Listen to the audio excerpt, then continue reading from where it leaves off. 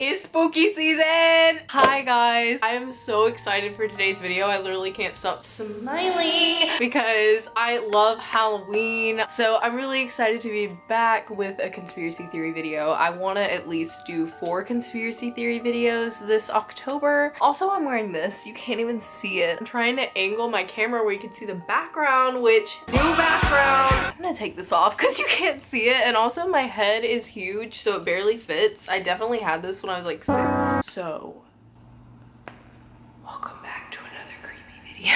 So today we're going to be talking about an event that happened back in 2014 and that is the Brandon Howard controversy. So Brandon Howard is an American singer. He has his own album. It's called Genesis, but he's mainly known for working with other very big artists such as Ne-Yo, Lupe Fiasco, Bow Wow, Queen Vanessa Hudgens, and he even worked with Jay Park?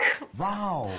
What? Brandon's parents are Miki Howard. She is also a singer and she's an actress as well. Her hits include Come Share My Love, Love Under New Management, and Baby Be Mine. Michael stands. Does that last one sound familiar? Augie Johnson. He is the father of Brandon. He was part of the group Side Effect, which is a R&B and jazz group, and later the group became Augie's Side Effect. So going back to Brandon's mom, Miki. This is where it kind of just gets crazy because what is the freaking coincidence? So again, Miki is a singer. She actually got her first manager when she was 18 years old. And guess who her manager manager was no other than Joe Jackson. I was seeing all over the internet that apparently Joe Jackson managed her and I was like, no way. But turns out I found an interview of her on YouTube and she says 100% that when she was 18 years old, Joe Jackson managed her. From uh, a young woman, from an 18 year old woman. Joe Jackson was my first manager ever as, as me as a solo artist. I can tell you story after story after story of wonderful things that this man did for me. Not only does she talk about Joe Jackson managing her, she talks about Michael's family as well. She was actually very close to the Jackson family. Aside from Brandon, she also had another son, and her sons would often get rides from the Jackson family to go to school, and she said that the Jacksons treated her and her two sons like they were part of their family. His children, Jermaine and and all of them were always wonderful to me and my children. My boys, I had two boys as a single black mother. My children got picked up every weekend along with the rest of the children as if they were Jacksons.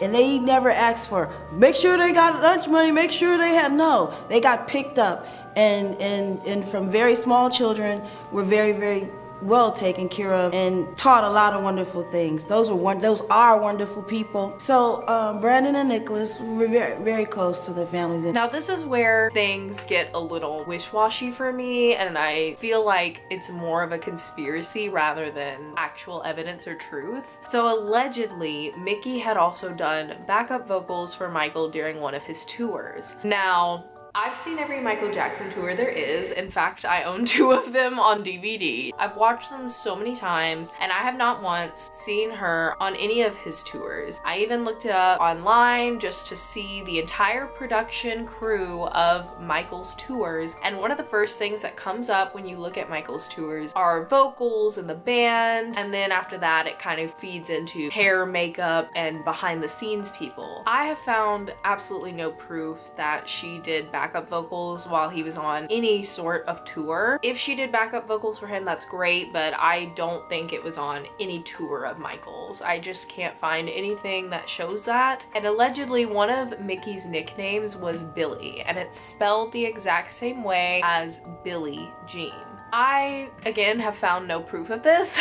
this is honestly, I think, just something that was made up and then blew up because people were like, oh my god, that's crazy. I've never actually seen proof of her saying that was her nickname. Brandon calling his mom Billie, like I've never seen that. So I really don't believe that. I feel like that was just a lie and it just kind of spiraled and got out of control and people started to believe it because everyone was saying it was true. Another thing that really convinces me that this theory is not true is that she is denied on multiple occasions that Brandon is not Michael's son. I just feel like if someone was money hungry and wanted the attention, why wouldn't they say oh yeah, that's, you know, Michael's son. She doesn't seem like she's in it for the money in any way. I actually really like her. She seems very funny. Off topic, but she seems like a really cool person. What is everybody doing? Oh I really don't believe she's in it for the money though, and I feel like she's telling the truth, you know what I mean? Because she could easily make a lot of money off of this by saying that he is, but then again, there's always the crazy idea that maybe it actually is true,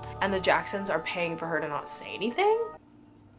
But that is so far-fetched in my opinion and I don't believe it but it's something to think about. There's so many lies in show business. Does anything surprise us anymore? You know what I'm saying? So going back to Brandon. First of all, I'm not even gonna lie, I looked up videos and pictures of this man. He reminds me of Michael a lot. Not even gonna play. He looks and even sounds like Michael and honestly, after watching a few interviews, he kind of even has Michael's mannerisms and it's a little spooky.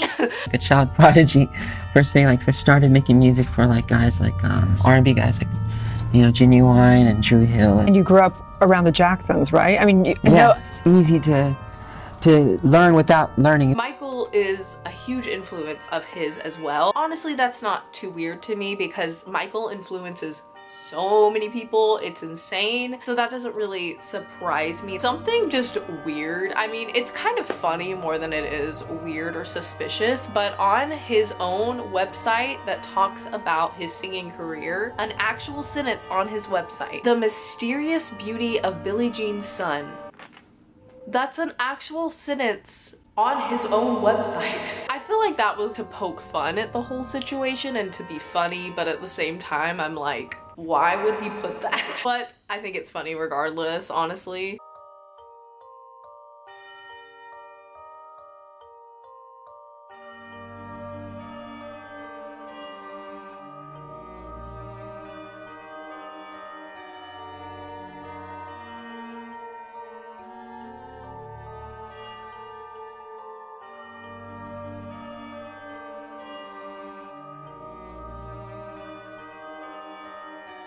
So as this continued to spiral out of control and people were saying, oh, he is Michael's son, or oh, he isn't. TMZ, they said they spoke with Brandon and he said he took a DNA test, that he's not Michael's son, but it turns out from Brandon's side of the story, he never even spoke with TMZ and he did take a DNA test, but it was not for the same reason that TMZ was saying it was. I did not call TMZ, didn't put out a story. Nothing. I've never self-proclaimed to be Michael Jackson's son. I make my own cash, okay? It is true I did a DNA test, but this is not anything had nothing to do with any of this. I swear on my life. But yes, he has denied that Michael is his father so many times. And again, I feel like if someone was truly money hungry and wanted the attention, they would say, oh yeah, drag it on as long as they could to have their moments of fame. But Brandon has been very honest about it, in my opinion, and has said that he makes his own money. He's made that very clear. He makes his own money and he's not trying to get money from Michael or Michael's family. And I respect that. Another thing, this is just kind of minor, but the Jacksons made it very clear that he's never once went up to them and said, hey, Michael's my dad, or I think Michael's my dad. They said, you know, he's never even hinted at that. And if he was a decent person, he would talk to them first before going out and saying Michael is my father. So I don't know. I don't